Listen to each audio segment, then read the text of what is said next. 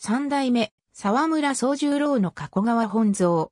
完成7年4月、江戸戸座、奏で本、中心蔵より、春映画、アムステルダム国立美術館像。勝川春江とは、江戸時代の浮世絵師。勝川春章の門人。本姓は磯田、名は久次郎。旧徳祭、朝日徳祭とコース。江戸に生まれ新泉町の家主をしていた。家系などは不詳。早く日春章の門人となり、安永7年に17歳で初作を描く。細番、愛版の作品が多く見られ、キララ釣りの大首へ、三代目市川八百像など、写楽と愛前後して役者絵を世に出した。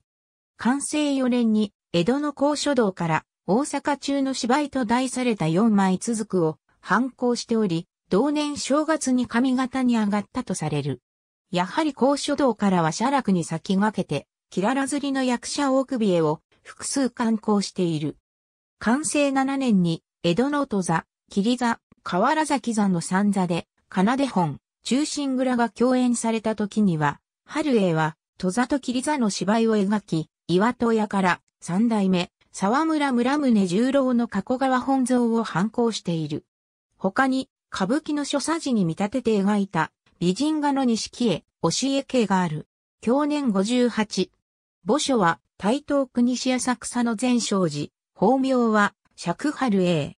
男女二子を設け長女は溶接し、長男の小野には、画業につかなかったという。門人に二代目、勝川春章、二代目、勝川春美、勝川春徳、勝川春帝がいる。なお勝川春英女という絵師もいるが春英との関係は不明。春への役者へは、死の春章の亡き後を継いで、完成の前、中期に絶頂期を見せており、その画業は、歌川報告、東州祭写楽にも影響を及ぼしている。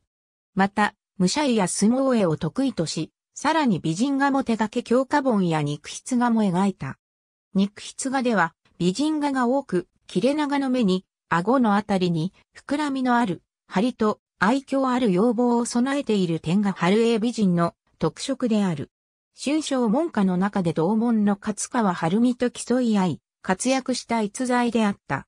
文政8年、春への七回忌が営まれ、この時春への門人たちによって、向島長明寺に、勝川春へ王略殿の石踏みが建てられた。その碑文には春への人となりを伝える二つの話が記されており、以下要約してそれらを紹介する。教え系春駒春映画。ありがとうございます。